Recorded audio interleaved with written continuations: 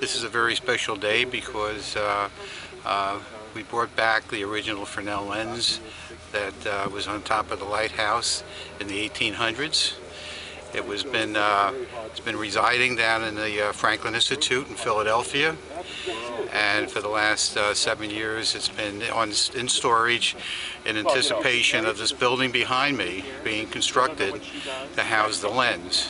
This lens is culminating um, with the uh, uh, availability of a historic item there's only about seven on display in the United States, and that's what makes it very, very special. This lens was uh, manufactured in, uh, in France, and uh, it's a uh, very integral part. There's 400 uh, prisms to it.